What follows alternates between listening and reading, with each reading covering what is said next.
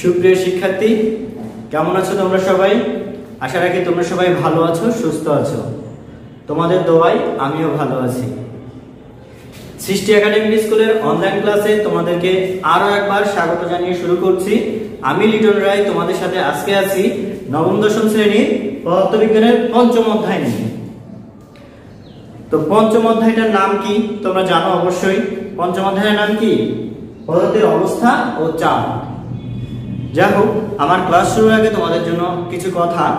যে কথাগুলো বর্তমান প্রেক্ষাপটে খুবই খুবই গুরুত্বপূর্ণ। তোমরা যারা এসএসসি পরীক্ষার্থী আছো, তোমাদের পঞ্চম অধ্যায়টা নয় ফিজিক্সের কিন্তু তোমাদের জন্য উপদেশ বাসায় যে অধ্যায়গুলো আছে, সেই অধ্যায়গুলো যেন খুব ভালোভাবে পড়াশোনাটা করো। কারণ খুব কম অধ্যায় আছে, এ প্লাস পাওয়া ছাড়া কোনো বিকল্প নাই। কারণ তোমার এখন এ প্লাস লাগবে এসএসসি ইন্টারে যে এ প্লাস লাগবে, তারপরে তুমি ভালো একটা ভার্সিটি পাবা। যারা এবার ক্লাস টেনে আছো, তাদের পঞ্চম অধ্যায় আছে, যারা নবম শ্রেণীতে আছো, তাদের পঞ্চম অধ্যায় আছে। তো আশা রাখি তোমরা এই ক্লাসগুলো ভালোভাবে দেখবা। ক্লাসে কোনো সমস্যা থাকলে সেটা কমেন্ট বক্সে জানাতে পারো আমাকে। আমি চেষ্টা করব সেই সমস্যা নিয়ে আলোচনা করার জন্য। আমি ফিরে আসি আমার ক্লাসে তো পদার্থের অবস্থা এবং চাপ। তো প্রথম কথা হচ্ছে, চাপ জিনিসটা আসলে কি? চাপ বলতে আমরা কি বুঝি? চাপ কি? বেসিক্যালি তুমি দেখো, এই যে, এই ওয়ালের উপরে তুমি এই যেটা ক্রিয়েট করতেছো, এই মার্কার দিয়ে কি? এটাকে চাপ বলতেছি আমি, তাই না? এটাকে চাপ বলতেছি, এই একটা পৃষ্ঠ, এইটাকে কি? চাপ বলতেছি। এটাকে কেন চাপ বলতেছি এবং চাপটা কীভাবে ক্রিয়েট হচ্ছে? একটা তল, অর্থাৎ একটা ক্ষেত্রফল, তার উপরে কি তুমি বল প্রয়োগ করতেছো?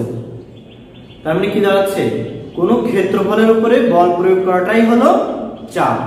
তো আমরা চাপের সংজ্ঞাটা এভাবে দিতে পারি যে একক ক্ষেত্রফলের উপর ক্ষেত্রফলের উপর লম্বভাবে প্রযুক্ত বলকে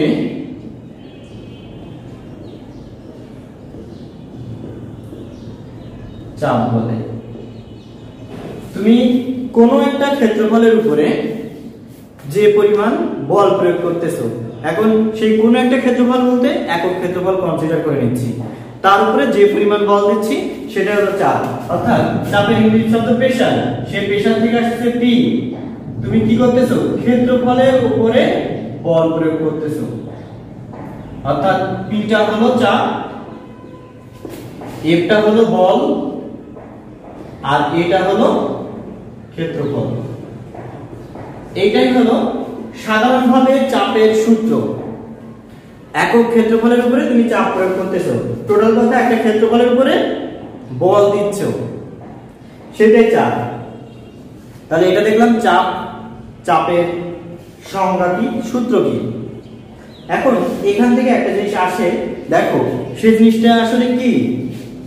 সেই জিনিসটা হচ্ছে যে এখানে চাপটা বলের সাথে কি সম্পর্কে আছে আর ক্ষেত্রফলের সাথে কি সম্পর্কে আছে, সেটা যদি একটু বোঝার চেষ্টা করি,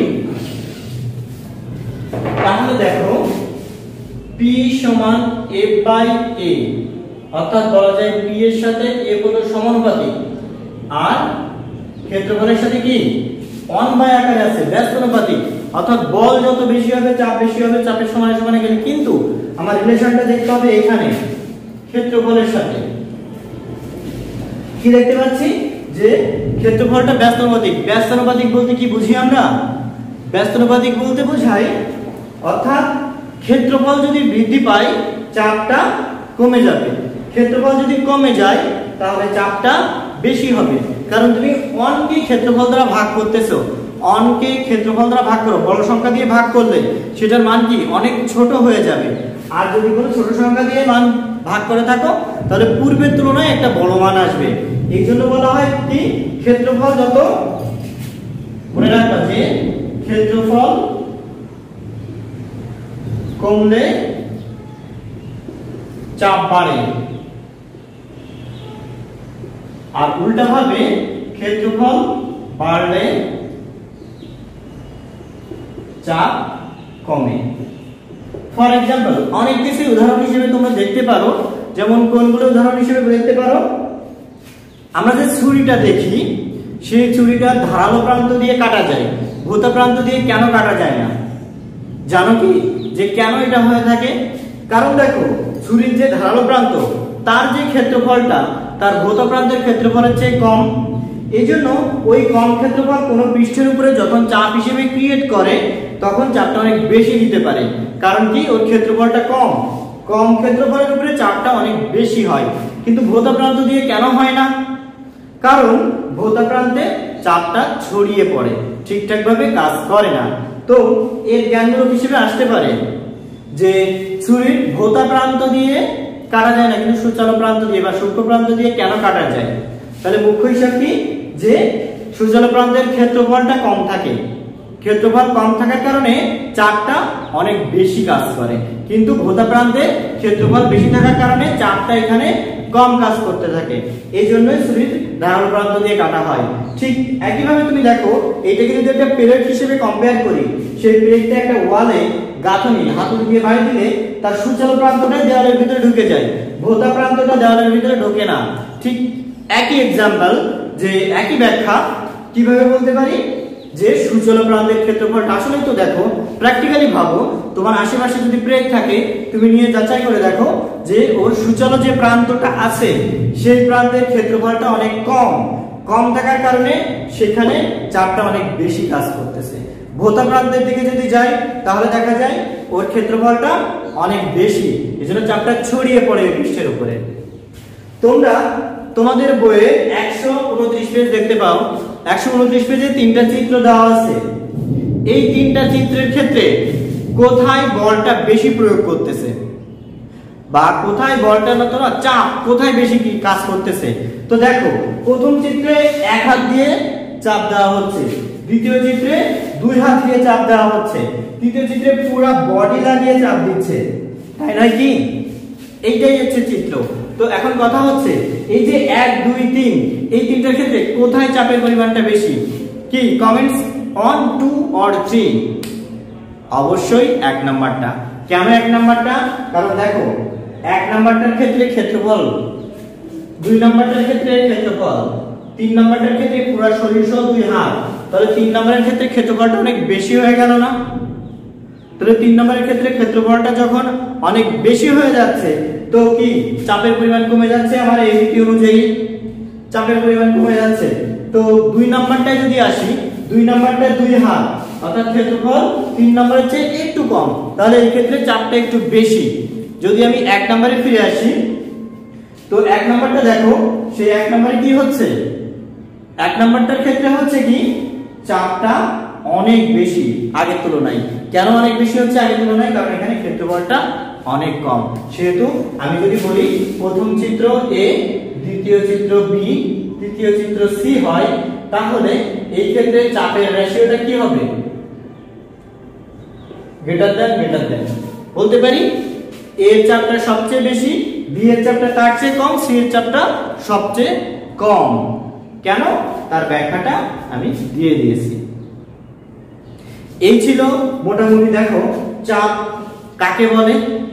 চাপের সূত্র আর চাপের সূত্রের সাথে যে দুইটা সিম্বল প্রতীক আসছে, কি কি আসছে দেখো তো? ক্ষেত্রফল আর বল। তো চাপটা বিশেষ করে ক্ষেত্রফলের উপর নির্ভরশীল, সেটা আমি বলছি। তাও সেটা ব্যস্তানুপাতিক। তোমাদেরকে আগে বুঝতে হবে ব্যস্তানুপাতিক জিনিস কি আর সমানুপাতিক জিনিস কি। ব্যস্তানুপাতিক। ব্যস্তানুপাতিক অর্থ বিপরীত। আর একটা বলছি কি? সমানুপাতিক। তো সমানুপাতিক অর্থ কি জানি? সমানুপাতিক অর্থ হলো সমান। বিপরীত বলতে একটা বাড়লে অপরটা কমে যাবে। অপরটা কমলে তার আগেরটা বেড়ে যাবে। সমানুপাতিক মানে সমান হারে চলতে থাকে। এটা বাড়লে এটাও বাড়বে, এটা কমলে এটাও কমবে। এই হলো সমানুপাতিক ব্যস্তানুপাতিক সেই অনুযায়ী আমরা তোমাদের বইয়ের কিছু মানে ফার্স্ট পেজটা সম্পর্কে একটা ধারণা পাইলাম। তো দেখো, আজকের আলোচনা আমি এখানে রাখতে চাচ্ছি, অল্প অল্প করে আগাতে চাই, যাতে তোমরা বিষয়গুলো খুব ক্লিয়ার হও। কারণ এই বিষয়গুলোই কিন্তু ভবিষ্যতে যে আরও ডিপলি আলোচনা করতে হবে ইন্টারমিডিয়েট তারপরে তোমার অ্যাডমিশনে এই জিনিসগুলোই কিন্তু খুব মানে যে জিনিসগুলো যেমন এই যে চাকরির সাথে ক্ষেত্রফলের রেশিওটা কি? সহজ জিনিস, কিন্তু অতি দ্রুতর ক্ষেত্রে অনেক সময় ভুল হয়ে যায়। এইটা যেন না হয়, এদিকে লক্ষ্য রাখতে হবে। যেটা অ্যাডমিশনের জন্য খুবই গুরুত্বপূর্ণ। যাই হোক, আজকে এই পর্যন্ত সবাই ভালো থাকো, সুস্থ থাকো, সবাইকে ধন্যবাদ।